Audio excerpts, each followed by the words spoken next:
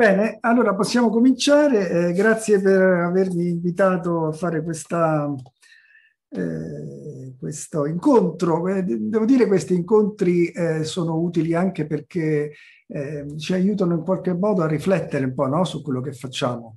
Eh, devo dire che anche facendo l'insegnante, spesso il rapporto con l'allievo è diretto, quindi si affronta il problema eh, diciamo sul momento e diciamo ecco queste, così, eh, queste occasioni sono anche dei momenti credo per raccogliere delle idee e quindi oggi ho pensato di eh, organizzare questa presentazione eh, intorno a sì. più o meno a questi argomenti.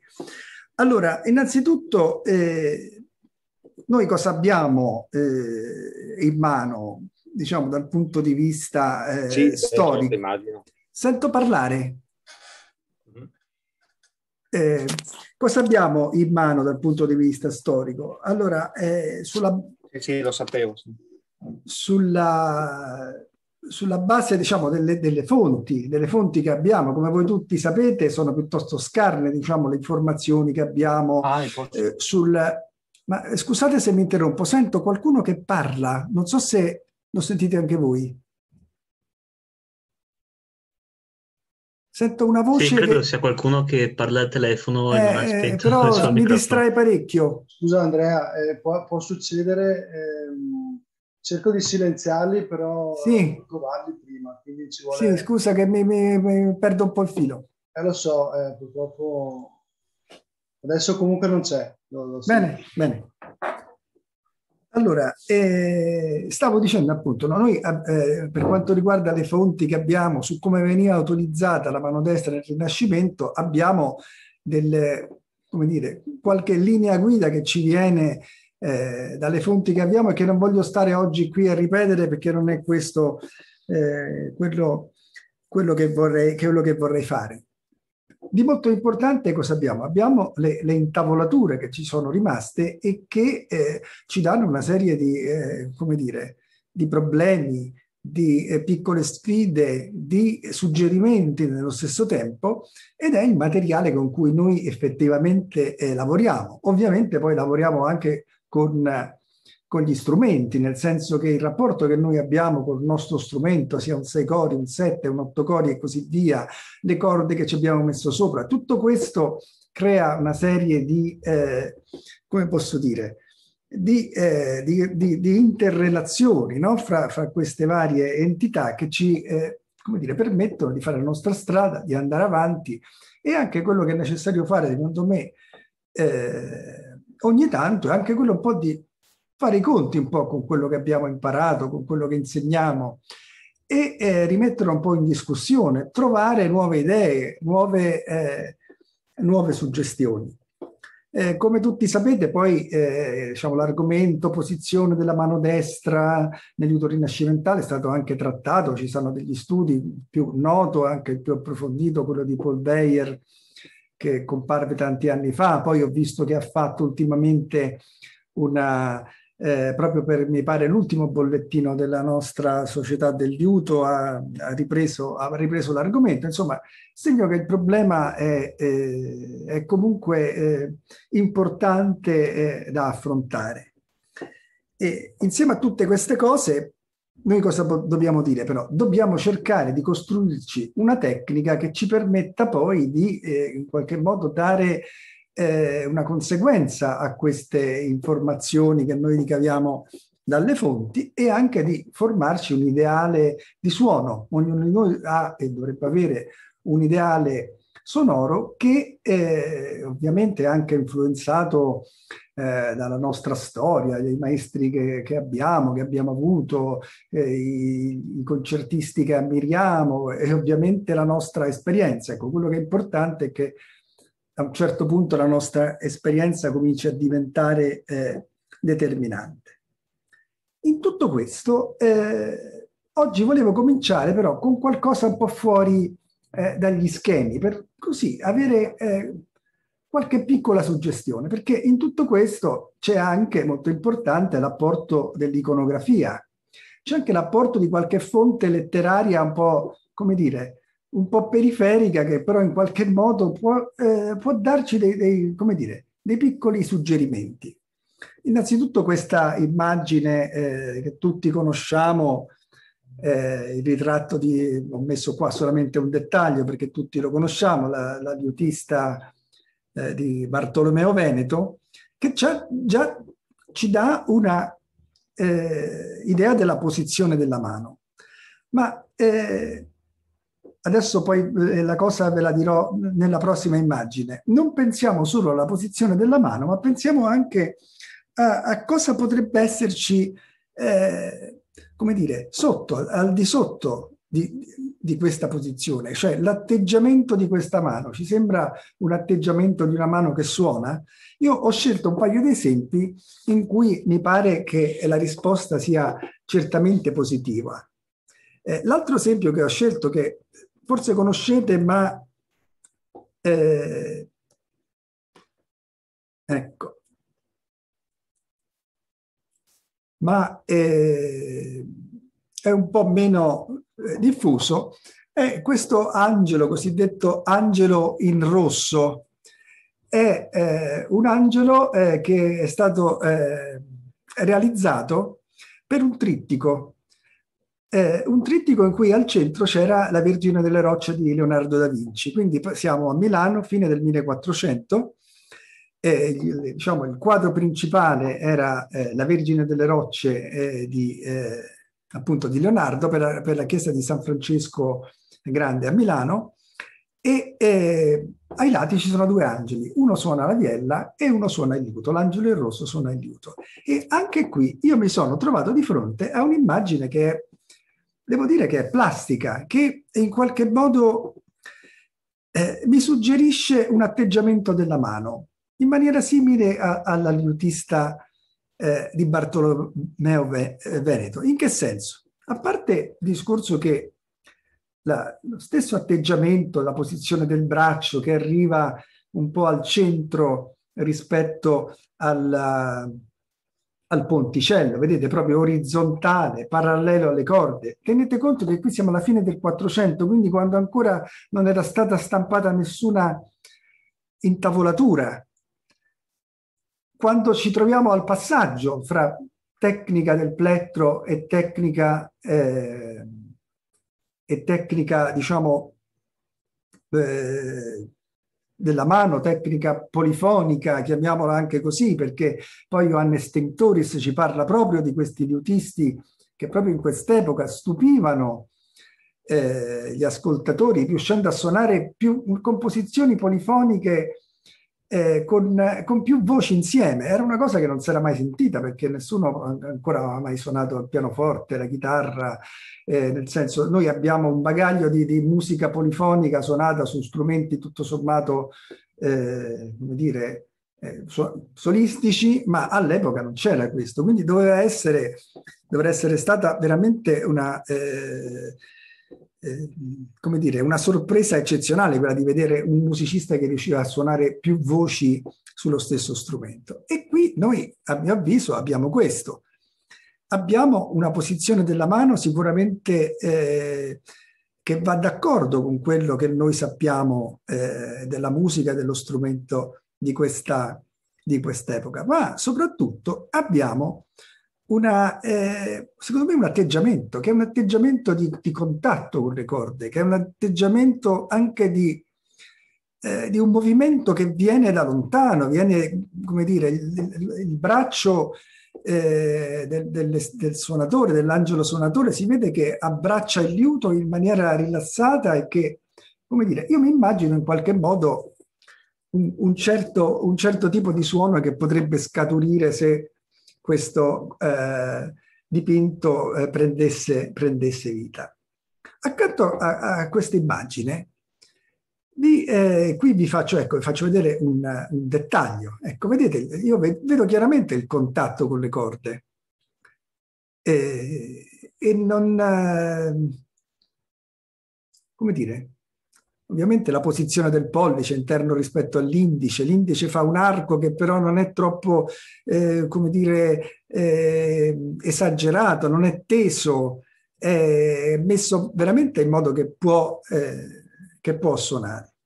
Dicevo, accanto a questo vi voglio leggere un'altra cosa che non so se, eh, se tutti hanno letto. Eh, la si può leggere nel libro sul liuto che ha scritto Davide Rebuffa. Io lì l'ho trovata per la prima volta.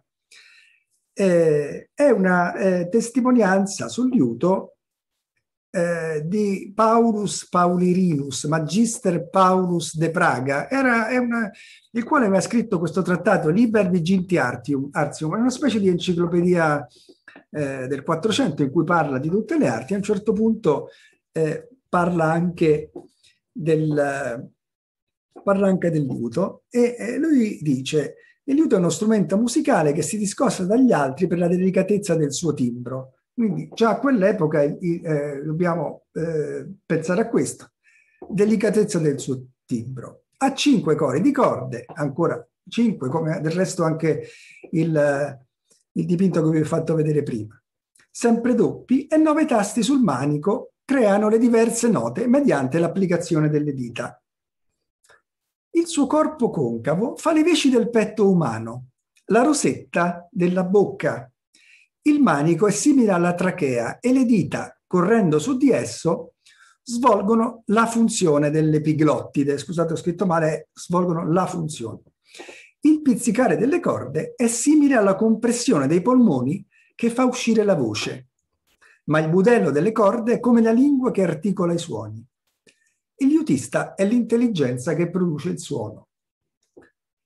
E potremmo dire che eh, ha scritto un piccolo metodo di liuto in qualche modo questo signore, perché, eh, come dire, ci dà almeno, almeno a mio avviso, ci dà una serie di suggerimenti sul fatto che il liuto già nella sua fase proprio iniziale, ripeto, ancora non c'era Francesco da Milano, non c'era Doland, eh, c'era quell'epoca Pietro Bono, eh, questi liutisti tedeschi di cui ci parla Tinctoris che erano molto bravi a suonare più voci insieme.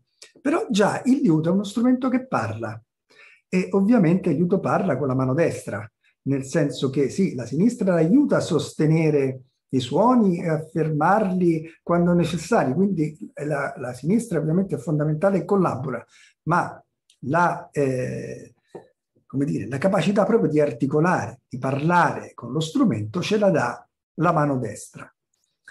Ecco, quindi tutto questo ovviamente noi dobbiamo poi eh, corredarlo, arricchirlo diciamo, con la nostra esperienza, con la scuola che ovviamente c'è stata su, riguardo alla, alla tecnica del liuto ormai si parla di eh, ormai diversi decenni, quindi come dire, tutto questo ha lasciato il segno, ma anche, deve essere anche secondo me la, eh, eh, un'idea che, che, ci permette di, eh, di, proseguire.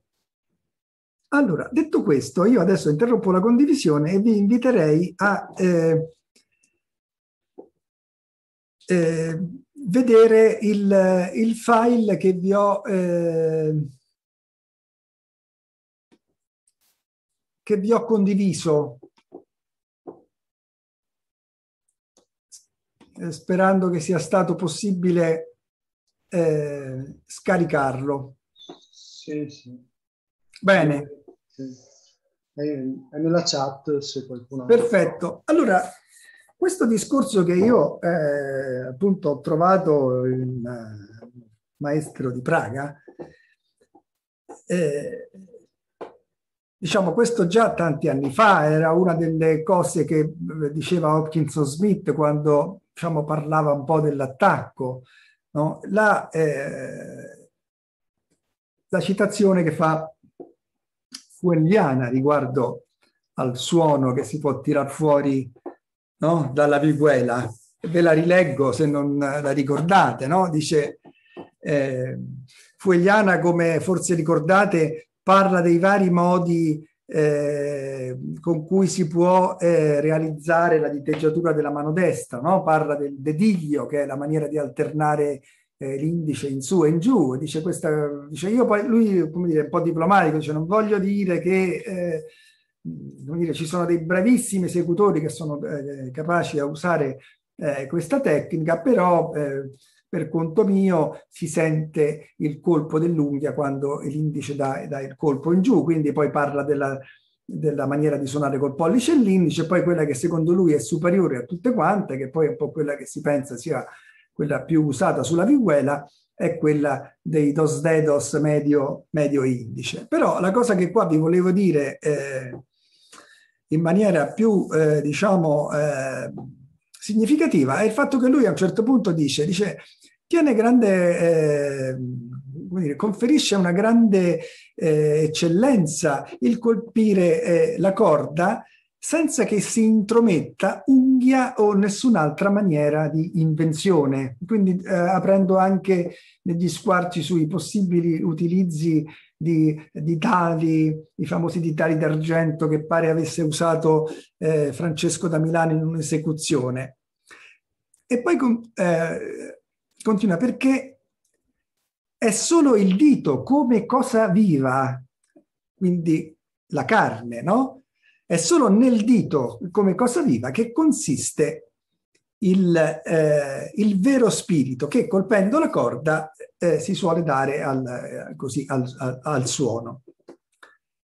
E quindi questa è, è, una, è, una, delle altre immagini che secondo me eh, ci, possono, ehm, ci possono aiutare. Detto questo, passiamo un po' a eh, io cerco di, adesso ho cercato un po' di eh, così trovare alcuni esempi in cui eh, cerco di spiegare un po' quella che poi alla fine è stata la mia esperienza eh, nel tempo.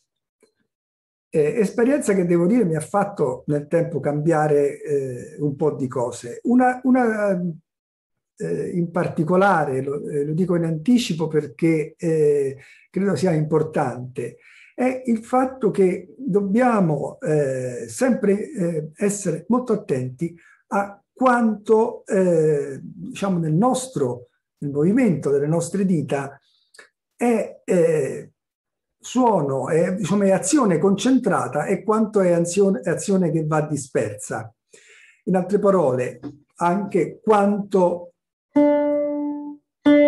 quanto spazio lasciamo dopo che abbiamo eh, pizzicato la corda, ma andiamo un po' con ordine. Eh, l'ordine che ho pensato è un po' quello che, eh, è stato quello della, eh, del, così, dello sviluppo della musica e della tecnica per liuto nel Rinascimento. Per cui se voi prendete il primo esempio eh, che ho messo è tratto dal primo ricercare di, eh, di Capirola. E cosa voglio mostrarvi con questo? Voglio mostrarvi semplicemente un passaggio pollice-indice ad una velocità eh, tranquilla, nel senso abbiamo eh, quattro note per battuta, quindi possiamo considerare dei, dei, dei quarti. Qui non abbiamo gran problema di velocità, ma possiamo avere la pronuncia, possiamo avere l'attacco e possiamo cominciare a lavorare sul, eh, sul discorso della, così, della qualità eh, del suono. Per esempio, noi abbiamo questo primo passaggio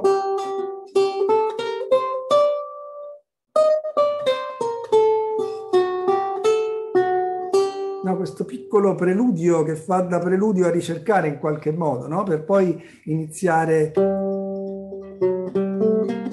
ecco, sul, eh, sul, nella regione potremmo dire del tenore, no? abbiamo subito una contrapposizione eh, di, di, sonorità. Ecco, e noi già, già, questo, già questa contrapposizione, per esempio, la possiamo considerare come un piccolo studio, quindi sia per l'attacco e l'attacco è, è, una, dire, è, un, è un lavoro veramente fatto di, eh, credo, prima cosa è sensibilità tattile, seconda cosa è eh, ascolto di quello che noi eh, produciamo e terza cosa è controllo del movimento cercando subito di metterci in testa una cosa importante, che la qualità del movimento è, è fondamentale nella eh, produzione del suono, perché la qualità del movimento significa che è preceduta da una, da una pressione, per esempio. Allora, a seconda di quanto,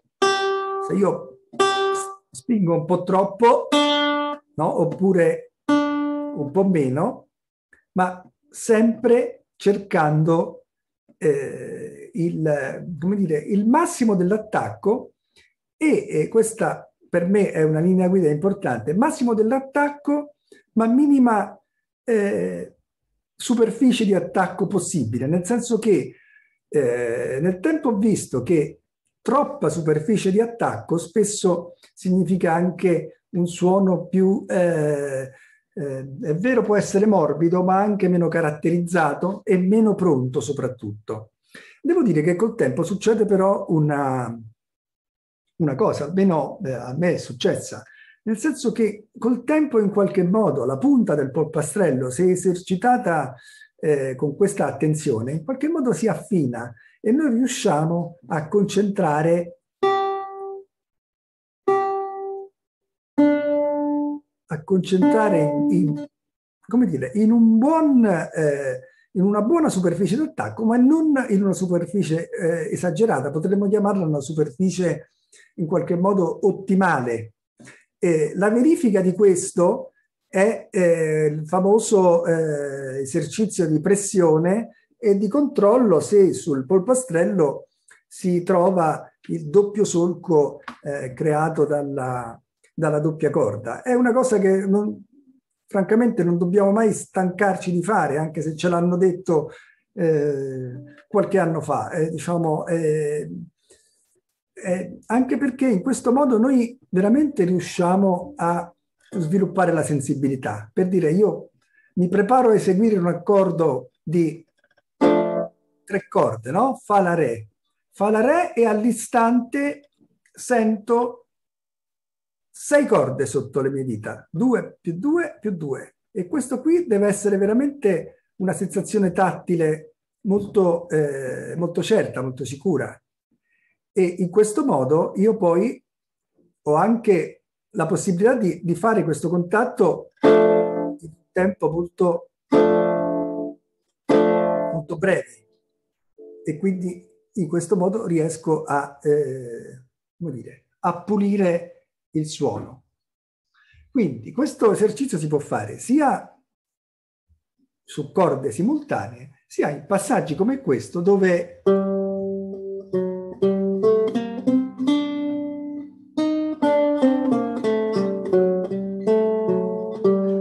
come dire, di ogni nota assaporare il contatto con la destra e ovviamente anche con la sinistra, ma se voi ci fate caso, una corda a vuoto, no? il contatto su una corda a vuoto è diverso dal contatto con una, con una corda tastata.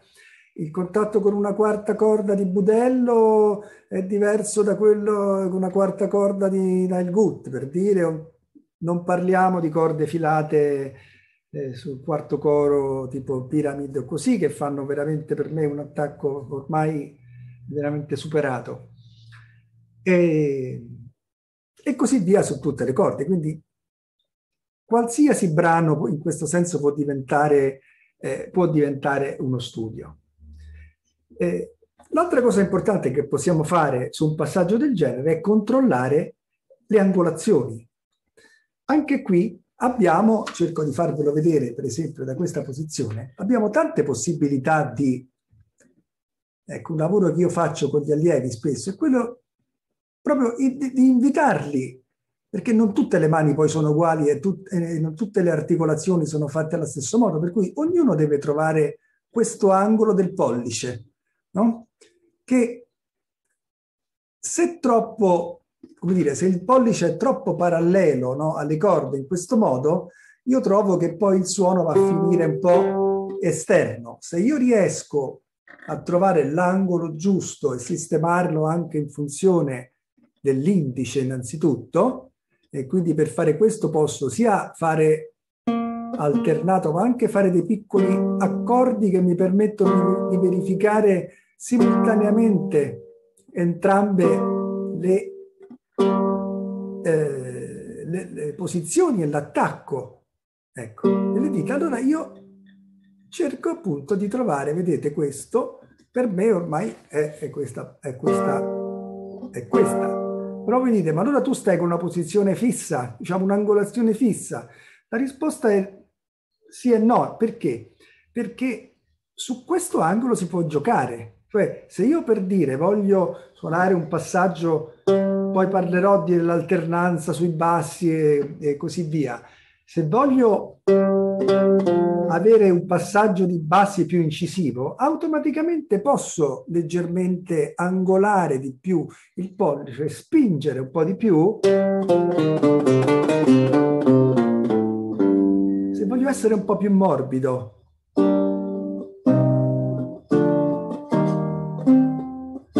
automaticamente il mio pollice può andare un po' più, come dire, verso la, la eh, tendente all'orizzontale rispetto alle corde e la pressione che io riesco a fare sarà minore, ma nello stesso tempo posso ottenere un suono, come dire, un po' più eh, eh, aereo in qualche modo, meno calato sulla, come dire, sulla terra in qualche modo.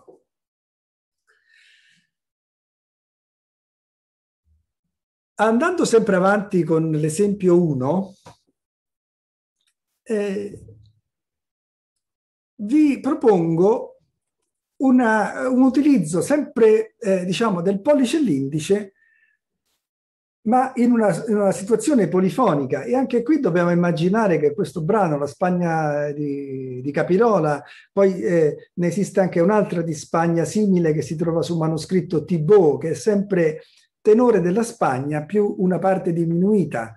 Questo probabilmente era una cosa che i liutisti del 400 facevano in due, uno suonava il tenore, uno suonava la, la, la, diminuzione, come peraltro è la famosa Spagna di Francesco da Milano, anche se va detto che la Spagna di Francesco da Milano non è sullo stesso eh, tenore della Spagna di di Capirola e del manoscritto Thibaut, che invece è la vera Spagna, diciamo, quella che poi veniva chiamata la, il tenore della Spagna di Costanzo Festa.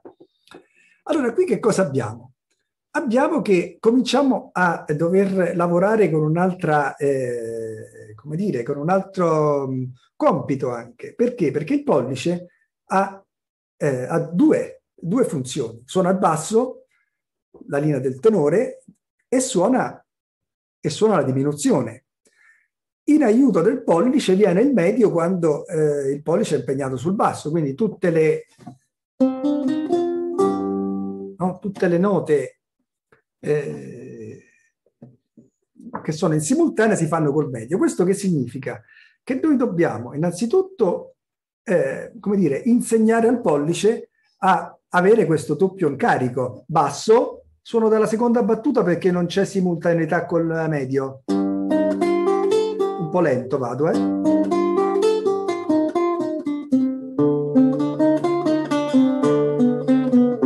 Allora, qui il pollice fa due lavori in pratica. Uno sta sui bassi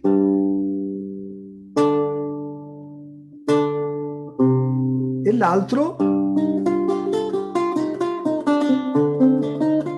mentre poi in velocità sarà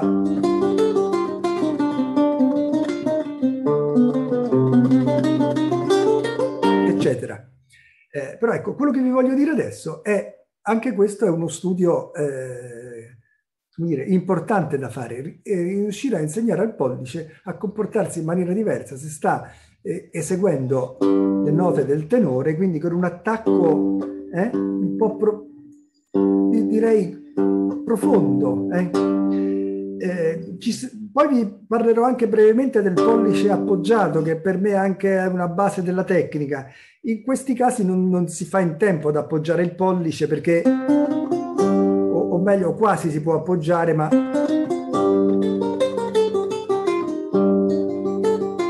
è proprio un appoggio temporaneo. Ma questa, diciamo, idea del pollice che si appoggia è, credo, l'idea che ci può aiutare a eseguire la linea del basso in maniera più incisiva e riconoscibile.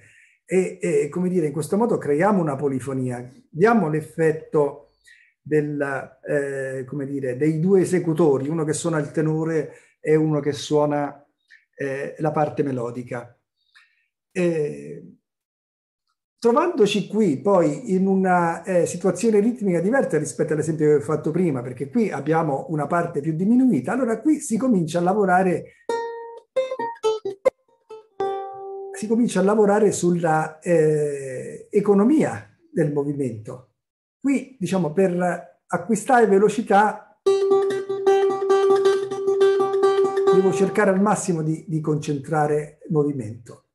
Eh, per eh, fare questo eh, io uso anche qualche piccolo, eh, come dire, trucco, varianti eh, ritmiche. No? Uno può essere quella di, per, come dire, per concentrare il movimento, quella di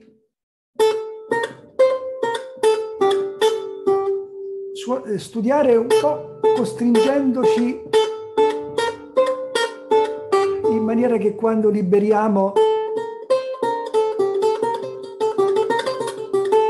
no? diciamo sarà in quel, la mano si sentirà più di, libera però nello stesso tempo essendo stata costretta a fare movimenti piccoli non se ne va a sfarfallare troppo l'altro è quello di usare quello che usano anche, diciamo, si fa anche diciamo, nelle tecniche moderne, che è quella di usare delle varianti ritmiche, tipo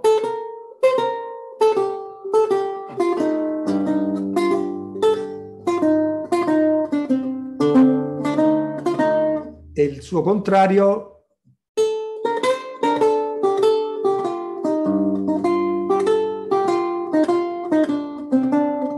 in questo modo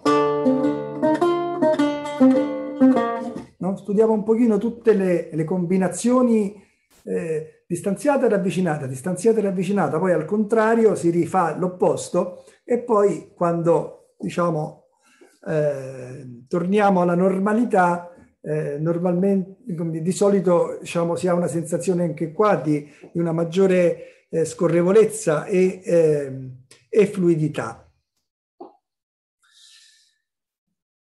Passiamo adesso all'esempio 2, dove eh, qui a, cominciamo a avere la, la, vera e propria scrittura, eh, come dire, polifonica, quella cioè in cui oltre a suonare basso, oltre a suonare una melodia, eh, ci sono delle situazioni in cui ci sono come dire, più voci e qui nascono tutte le varie combinazioni eh, della diteggiatura della mano destra eh, del liudo. Qui l'esempio l'ho messo più che altro per eh, richiamare l'attenzione sul fatto che eh, l'intavolatura, eh, come voi sapete, si serve de del puntino. No? Il puntino era eh,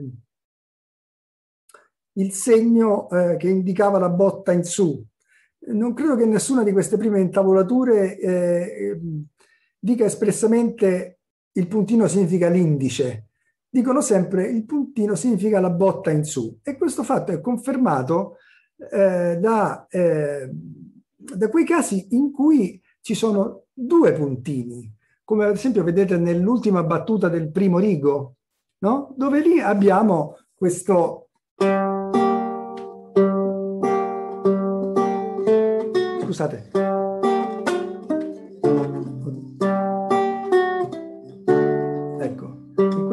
Caso, vedete, ecco, quando troviamo noi questo tipo di scrittura? Perché si trova poi eh, praticamente in tutto il repertorio del liuto, quindi eh, non, è una cosa che rimane. La troviamo fondamentalmente quando eh, ci troviamo di fronte a un'armonia spezzata, che vuol dire questo? Vuol dire che eh, eh, in questo caso il, il, basso principale rimane il Sol che è tenuto? E quindi era un accordo che poteva essere, qui la scrittura poteva essere, invece lui ha scritto e per questo motivo ha... Eh, ha usato il doppio punto per dire guarda non devi suonare col pollice la nota più grave perché normalmente diciamo quello che si dà un po' per scontato è che eh, la nota più grave viene fatta dal pollice l'altro eh, vedete anche eh, la stessa cosa si trova eh, nel piccolo esempio che ho messo eh, sotto no? quello con la cadenza vedete qui noi abbiamo la, mi, do diesis, anche qui l'accordo sarebbe questo. Ecco, questo io cerco di farlo in modo con questo tipo di articolazione un po' morbida. Ecco, per me è importante anche questo, lavorare molto con queste, eh, queste articolazioni mi danno innanzitutto la possibilità di, come dire, di spingere un po' sulle corde senza lavorare da qui, senza agganciare ad artiglio, ma morbido qui,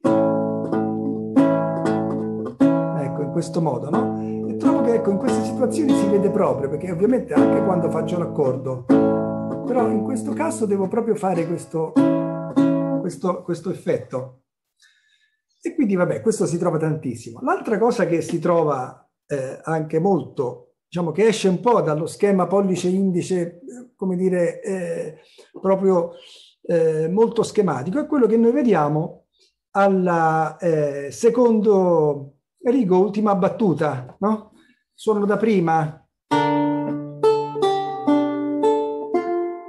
Ecco, vedete, qui noi abbiamo due puntini di seguito. Allora, eh, uno dice, a me, qui che è successo? Si è sbagliato. Di puntini sbagliati nelle intavolature del 500 ce ne stanno centinaia, se non, sbagli- se non migliaia. Ma non è questo il caso. Qui è giusto. E qui entriamo nelle prime eccezioni, eh, diciamo, alla, alla, regola della simmetria pollice-indice. Quando avviene questa, questa situazione? Quando portare eh, il pollice come dire, lontano dal, dal, dal, dal posto dove, come dire, dove sta meglio, è, è, è, scomodo e a sua volta sarebbe scomodo mandare l'indice al posto del pollice. Cioè in questo caso la regola avrebbe voluto fare... No, è ovvio che, come dire, se ne erano accorti anche loro, no? Che cominciavano a esserci delle, eh, come dire, delle situazioni in cui eh, la regola stretta non, non, veniva rispettata. E lui non ci dice però cosa devo fare con l'indice, col medio, devo fare tutto con l'indice. Potrebbe essere, che sarebbe anche bene,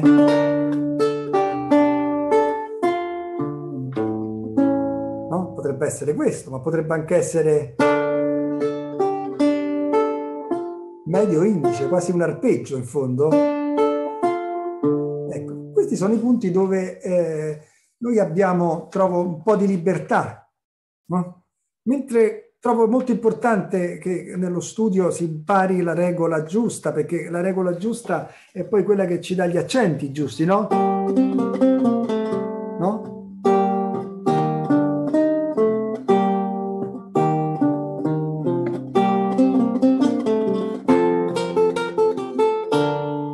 Ci dà, ci, dà, gli accenti giusti, quindi quella lì, da quella non si, come dire, non si, der, non si, non si deroga.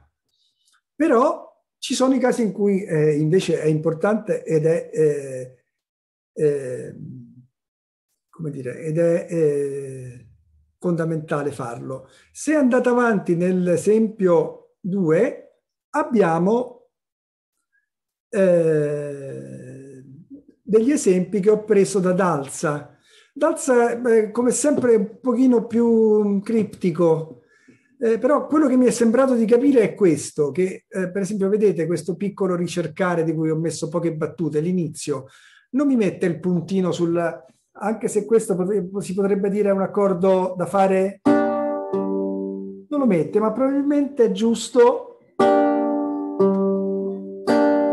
suonare diciamo l'accordo Ecco, mentre invece questo me lo mette come chiaramente accordo spezzato, la seconda battuta. Poi vabbè, va avanti normalmente. Lo stesso avviene sul eh, bellissimo pezzo intitolato Caldibi Castigliano, dove verrebbe voglia, lì poi non si sa se, eh, se manca il puntino, no? Però io questo credo sempre di aver trasgredito quello che aveva scritto lui, di averlo suonato, cioè considerandolo un accordo spezzato. Però beh, guardare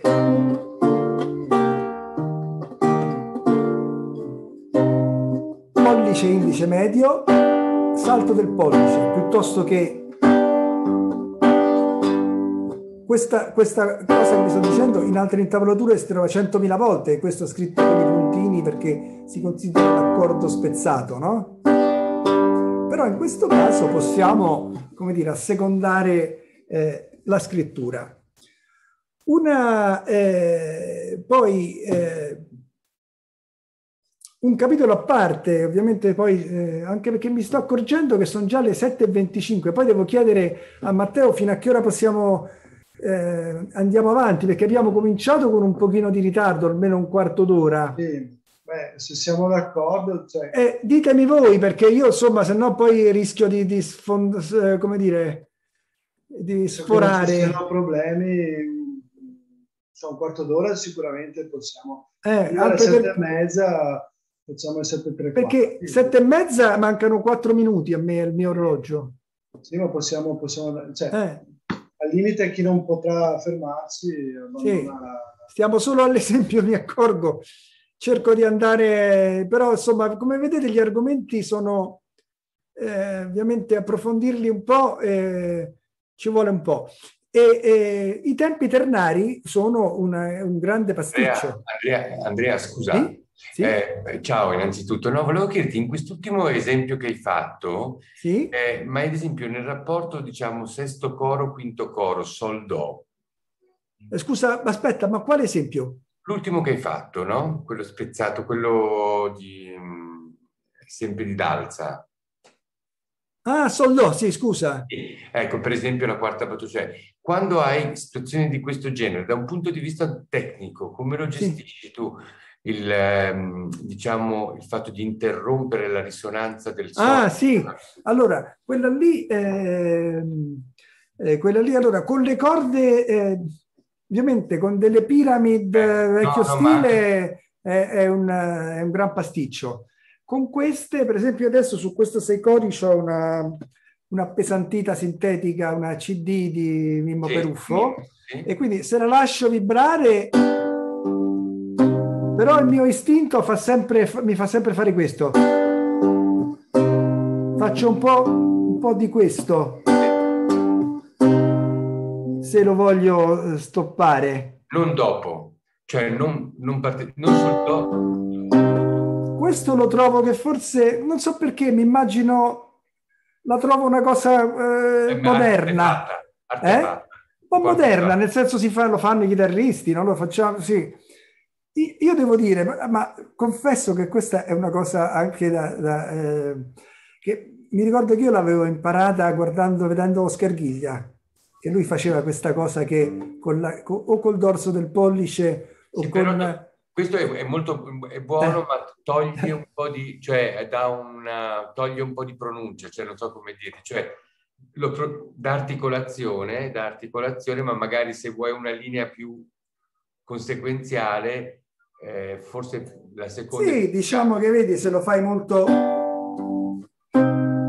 Dipende, dipende, sì, okay, dipende. Okay. Perfetto, grazie. Eh. Poi vabbè c'è il discorso invece che eh, di questo eh, forse potrei parlare perché sennò si rischia di non parlarne. Diciamo che io più che posso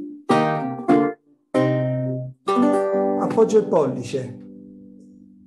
questo si trova su fonti un po' più tarde, ma se noi poi andiamo a vedere bene, io penso che il pollice appoggiato costituisce il contrappeso del mignolo appoggiato. In altre parole, la mano, la mano come dire, è assicurata da due parti.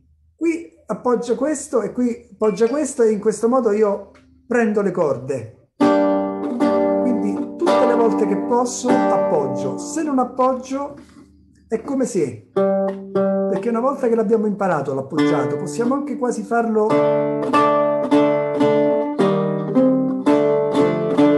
senza, senza vero appoggiato, perché l'appoggiato lo possiamo fare solo se abbiamo una corda libera, no? Se devo suonare... Qui non posso, qui non posso più appoggiare, ma voglio un suono... Allora lo faccio come se appoggiassi. E questo, come dire, mi crea equilibrio alla mano, perché, ripeto, appoggio questo e appoggio quest'altro, no? E in mezzo le dita sono, come dire, stanno al sicuro in qualche modo. Vedo con gli allievi che spesso è difficile eh, lavorare questa cosa perché il pollice appoggiato sembra una stranezza, sbattono le corde, eh, però una volta che l'hanno imparato è, Cioè, una volta che l'hai imparata è una cosa che non te la scordi e la usi. Dicevo, i ternari. Ecco, questa è una cosa, una cosa eh, come dire, importante eh, di cui è difficile dare una soluzione definitiva. E in particolare, essendo Dalsa un autore un po' stravagante, eh, qualche dubbio viene, però si trovano anche diverse situazioni in cui c'è una conseguenzialità, quindi non sembrano dei puntini messi lì un po' sbagliati, ma sembrano giusti. Allora noi sappiamo anche da altre situazioni che la formula base del ternario era pollice, indice, pollice, no? Col terzo pollice un po' più leggero in modo che si ricada sul battere. Però Dalza non fa sempre questo. E c'era un esempio che purtroppo, eh, se voi vedete per esempio il... Ehm, eh, eh, vi chiedo scu eh, scusa solo un istante. Scusate, la figlia che, che reclama. Allora, ehm, dicevo, eh, adesso ho dimenticato di metterlo, ma c'è ad esempio eh, l'inizio della piva a due liuti di, di Dalsa, che anche quello ha una diteggiatura caratteristica che va eh, assecondata in qualche modo. Allora, Dalsa molto spesso, invece di fare questa, quella formula, come dire, tradizionale, pollice, indice, pollice, mette sul secondo tempo il pollice, no? Per esempio, vedete queste pive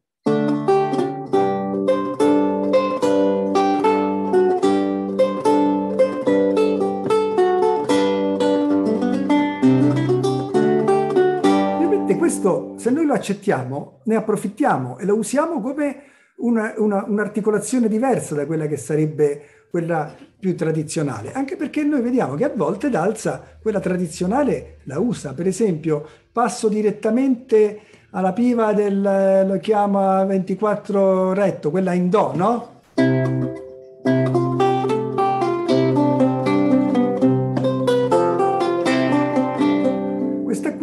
a parte un caso che non so se è sbagliato, però è tutta riportata all'ordine, eh, diciamo, tradizionale. Eh, anche le calate, no? Le calate anche usano spesso l'effetto, eh, vedete, la calata alla spagnola, quella detto terzetti. A parte che lì abbiamo i due puntini uno di seguito all'altro che potrebbero stare qualcosa di questo genere anche. Oppure forse è meglio fare, sentite, fa un effetto più, un po' più swing. Poi abbiamo pollice pollice.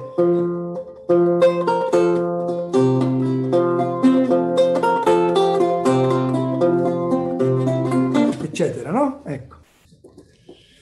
Allora, un'altra cosa di cui vi parlo brevemente, poi eh, sì, diciamo ecco, che eh, vi parlo brevemente, poi mi fermo qui per chiedere se ci sono domande, visto che comunque sono passate le sette e mezza. È, è nella polifonia l'uso del pollice è, diciamo, e del medio nella polifonia, e ho preso qualche esempio di Francesco da Milano. Allora, su Francesco da Milano capita abbastanza spesso, e non è un caso, il fatto che quando va sui bassi eh, e non sono troppo veloci, scompaiono i puntini del pollice no? come si vede in questo inizio di, fant- di fantasia, no?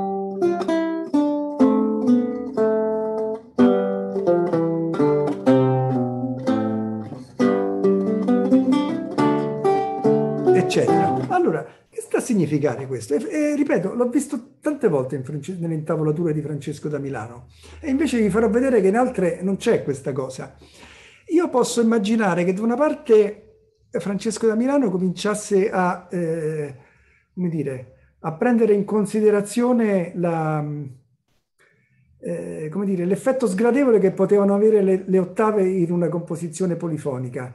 La stessa cosa la si trova in Alberto da Mantova, che eh, stampa le sue opere in Francia, ma con le stesse, diciamo, spesso caratteristiche che sui bassi si trova poco l'uso dell'indice, a meno che non siano delle tirate un po' veloci. E quindi ecco, questa è una cosa che dobbiamo, a mio avviso, osservare e, eh, e quando possibile eh, rispettare. L'altra cosa invece eh, riguarda sempre, eh, sempre riguardo Francesco da Milano è l'uso del medio quando il pollice sarebbe, eh, come dire, eh, un po' eh, scomodo, un po' mh, impacciato, no? Per esempio quando noi vediamo il secondo, eh, secondo rigo di questa fantasia, no? Passo direttamente...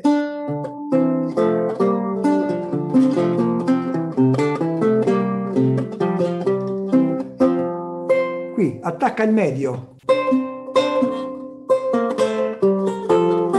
Medio. Medio. Eccetera. Ecco, quindi quest'uso del medio che poi noi troviamo, eh, eh, ve lo faccio vedere adesso anche se tra un attimo, nelle intavolature francesi. Ecco, altro esempio dalla famosa Fantasia 33, eh, dove noi vediamo che nei passaggi di ottavi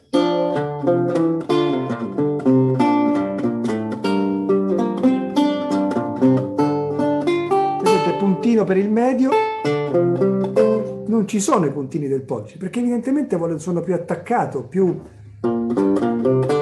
senza che ci sia no? Anche perché noi consideriamo che l'alternanza pollice indice crea una certa leggerezza, no? Però se vogliamo, come dire, essere presenti su ogni nota è più facile farlo solo col pollice. Vedete, cose simili le troviamo, questa qui è la, eh, le istruzioni di Leroy che come sappiamo erano andate perdute, quelle in francese, esiste la, la versione di, inglese, eh, però è più tarda, però si riferisce chiaramente a un periodo più eh, precedente Ecco, in questo passaggio vediamo chiaramente l'uso del pollice. E poi qua, guardate questo passaggio. Due puntini di seguito. Indice, medio. Di nuovo.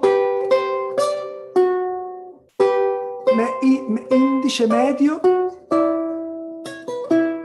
Eccetera. E qui è proprio scritto. Perché questo? Perché in fondo questo si potrebbe fare tutto col pollice, cioè dove, dove, dove normalmente si mette. Probabilmente qui voleva un suono espressivo. Noi, noi eh, specialmente sulla prima corda, il suono del medio è, è, è, chiaramente un suono più, un po' può essere più affondato, più espressivo, mentre il pollice dà un effetto più, no? come dire, un pochino più meccanico. Se vogliamo veramente cantare, il medio eh, ci aiuta ci aiuta di più. Ecco, no? stessa, stessa cosa qui, questa vedete una fantasia, inizio di una fantasia di Alberto da Mantova.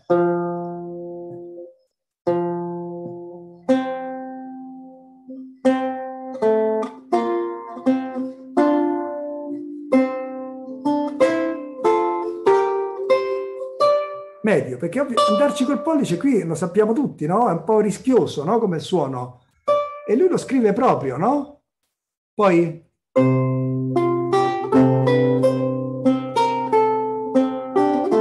anche qui non, non rischia l'uso del pollice sulla melodia. È interessante questo fatto perché non si trova così tanto.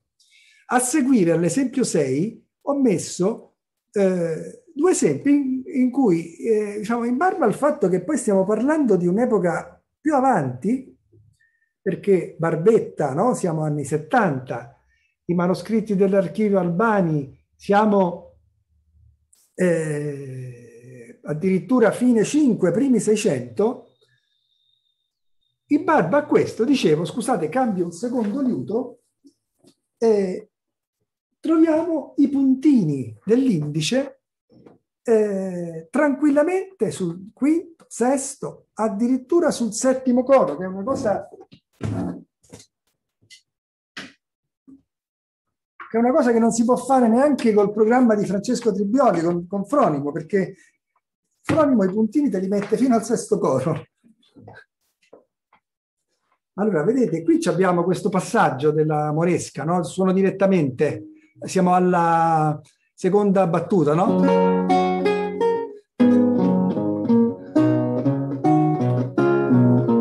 È quasi più difficile, no? Perché dobbiamo andare a, a pescare le note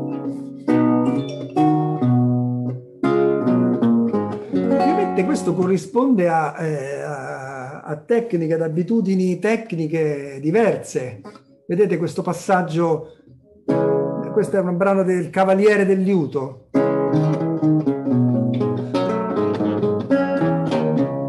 Tutte pollice indice. Eh, evidentemente avevano questa tecnica eh, sviluppata e mi immagino anche che ancora questa tecnica, è chiaro, tutto si può fare, però è molto più facile con la posizione del pollice interno, perché arrivare, arrivare in questa posizione fare, per carità, forse ci riuscivano, però eh, diventa, eh, come dire, diventa un po' un'impresa farlo bene. Per cui io immagino che ancora questa musica la suonassero questa posizione. Allora, sentite, io visto che sono 41, eh, per il momento mi fermo e chiedo se ci sono domande. C'avevo ancora materiale, ma magari se ne farà un'altra.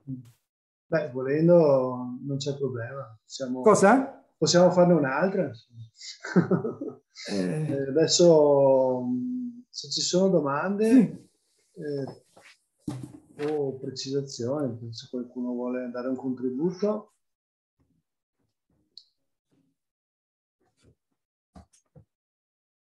Cioè...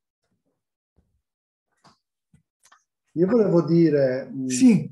che tutto sommato nell'ultimo esempio del pollice indice sui cori molto gravi, eh, che io la uso e mi trovo anche abbastanza bene, dopo non sarà ma, ma sempre la casistica, però sono quasi più facilitato in certe cose, mm-hmm. probabilmente perché tengo la mano eh, ancora certo col pollice sì, sì. rientrante, però lo trovo molto pratica con quella, te- con quella posizione della mano. Mm. E... Tanto è vero che la, la userei anche con Piccini.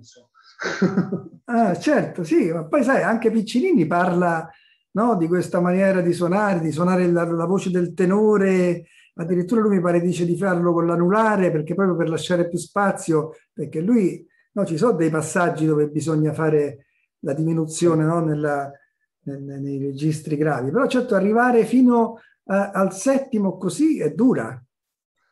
sì, eh, insomma, sarebbe dura per me. Io, io, un po' lo so usare la posizione col pollice fuori, non, non altrettanto bene che, che, quella col pollice dentro, però eh, non sarei fuori. capace di suonarlo, come dire, bene. Certo, sì, credo. Infatti, probabilmente con quel tipo di inclinazione della mano, mm. sì, anche per lui l'esposizione dell'unghia probabilmente diventa certo. Eh, più difficile ottenere il suono pulito. Certo. Mm, questa era la... Qualcuno Bene. vuole intervenire?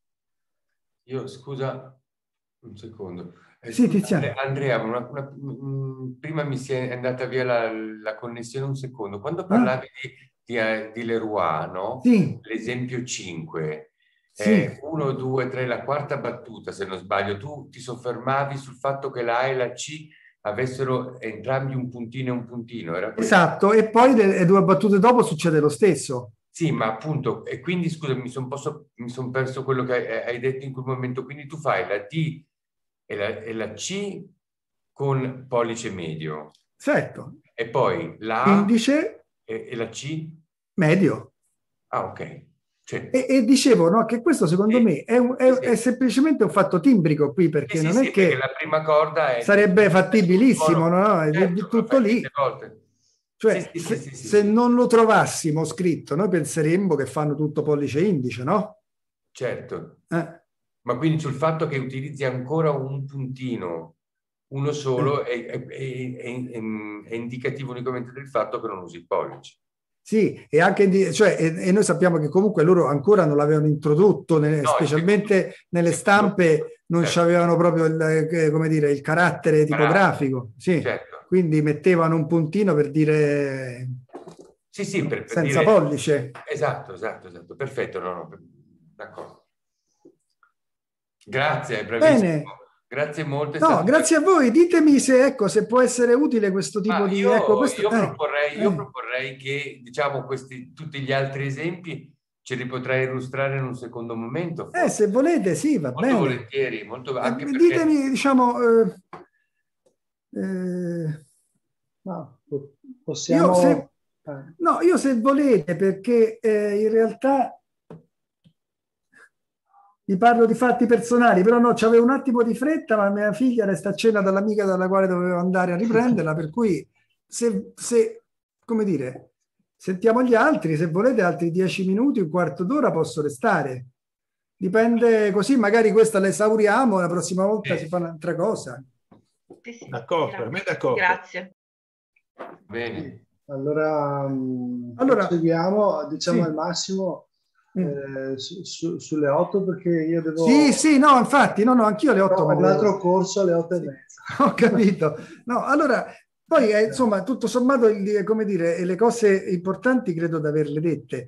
Gli esempi eh, successivi che ho messo eh, riguardano un'epoca in cui è abbastanza invece assodato che si usasse il pollice esterno, anche se noi, come dire, facciamo un po' i furbi qua. Eh, eh, io devo dire, eh, sono arrivato a suonare col pollice esterno la tiorba, liuto barocco, la chitarra barocca, ma questa musica così di, di mm, come dire, di interconnessione fra un'epoca e l'altra, preferisco, sto più tranquillo a suonarla ancora col pollice, col pollice interno. Però ecco, per dire che qui è abbastanza evidente che eh, l'uso del medio appare, questo è il manoscritto 38539, è cosiddetto John Stewart eh, Loot Book, dove la diteggiatura è scritta in maniera molto conseguenziale, dettagliata, eh, insomma è una fonte per me molto preziosa, insieme anche a Folger, Doland, ovviamente siamo, eh, siamo in Inghilterra, però penso, immagino sempre che questa è una tecnica che in ogni caso... Eh, fa, faceva un po' capo sempre a Besard, e quindi al suo maestro e quindi a Lorenzino del Liuto, Lorenzino Tracetti, che era italiano, come sappiamo, per cui probabilmente era una tecnica italiana che si era, che si era diffusa un po' in Europa. Eh, e, e, qui vediamo chiaramente, ecco, qui adesso non c'è bisogno neanche che ve lo suoni, eh, vediamo chiaramente che l'uso del medio è... Eh, eh, come dire, è, è, molto, è, molto, evidente, ad esempio, in questa, eh, in questa allemanda di Robert Johnson. Se andiamo invece a vedere questo passaggio della famosa fantasia di, eh, di Dolan, ecco, un attimo eh, mi ci soffermo perché? Perché questo è, è uno degli esempi che io uso come guida, diciamo, come guida per decidere eh, cosa fare col pollice e l'indice o con il medio e l'indice, perché qui è tutto scritto. E eh, io questo mi ricordo questo passaggio, me lo fece studiare Anthony Bales quando studiavo con lui e eh, credo che sia illuminante, poi ce ne stanno altri ovviamente, però questo appartiene a, a un pezzo molto, molto famoso. Allora voi vedete che tutta la prima parte del passaggio diminuito eh, della fantasia numero 7, cosiddetta da Variety of Lessons di Doland, è fatto col pollice e l'indice perché? Perché non c'è troppa distanza. Esattamente poi quello che dice Besard. Qui tutto pollice e indice.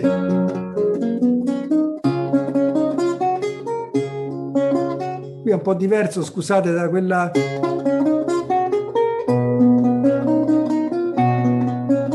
e qui cambia pollice appoggiato sui bassi e partono, no? partono al medio e l'indice.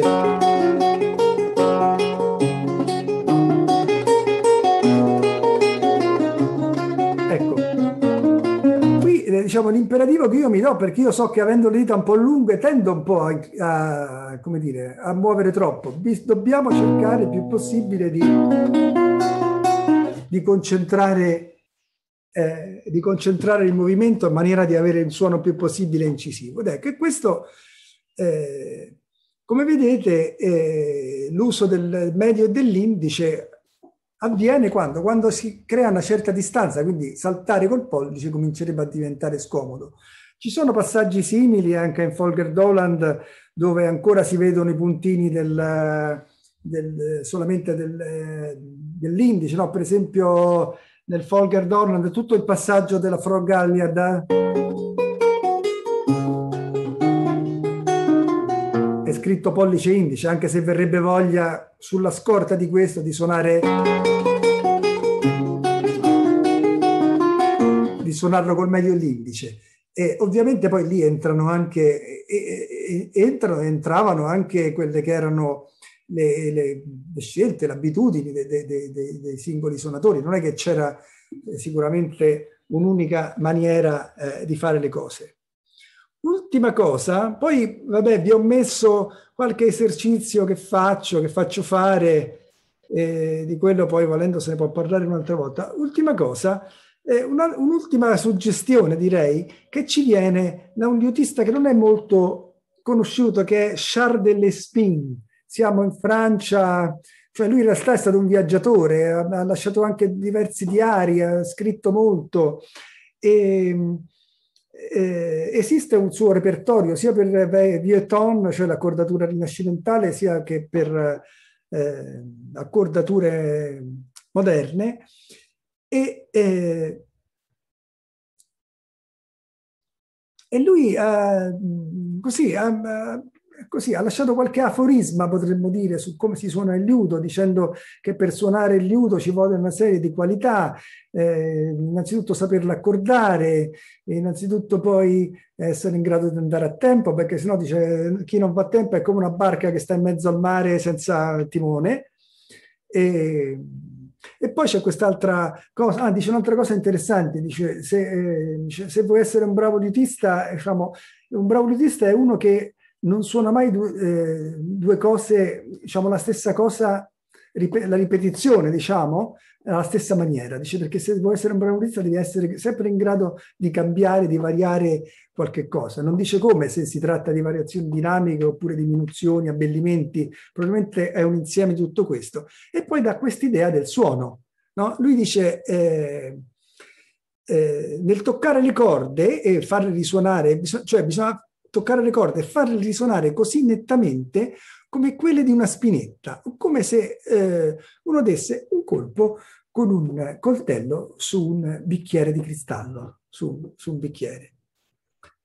E, però lui dice raramente, dice in una stessa persona si trovano tutte queste qualità, però come dire, ci dà questi eh, indizi, questi eh, queste informazioni. Ecco, questo è un piccolo, poi c'è un piccolo esercizio che ho aggiunto, che serve un po' per bilanciare, secondo me, tenendo l'indice fermo. Una cosa importante nella mano destra è quella di non muovere troppo, no? Quindi trovare una posizione che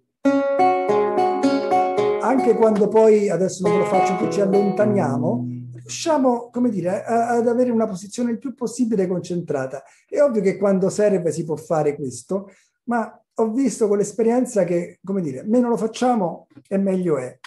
Ho poi aggiunto eh, due brani. Uno è la brand di Lorenzino da Thesaurus, che è un ottimo esercizio per studiare eh, il pollice e l'indice, sia con pollice e indice che che con medio indice. Quindi è, è, è, un brano che si può studiare in maniera un po', eh, come dire, eh, differenziata. Io ho dato dei suggerimenti, ho messo un po' di, di indicazioni, ma comunque si può trovare la propria, eh, la propria formula. E poi, ultima cosa, c'è un, eh, un, la prima parte di un passamezzo che sta nei manoscritti albani, che è eh, secondo me molto utile anche questa per lavorare sui passaggi del pollice eh, che richiede un continuo lavoro della mano destra. Eh, adesso non c'è tempo, però eh, magari ve lo potete vedere, se qualcuno qualche domanda me la può fare anche per conto così eh, proprio. Ed è interessante appunto perché richiede un grande lavoro della mano destra, ma ho visto che è molto utile. Bene, se non ci sono domande... Io direi che a questo punto chi vuole può, diciamo, possiamo attivare il video. No.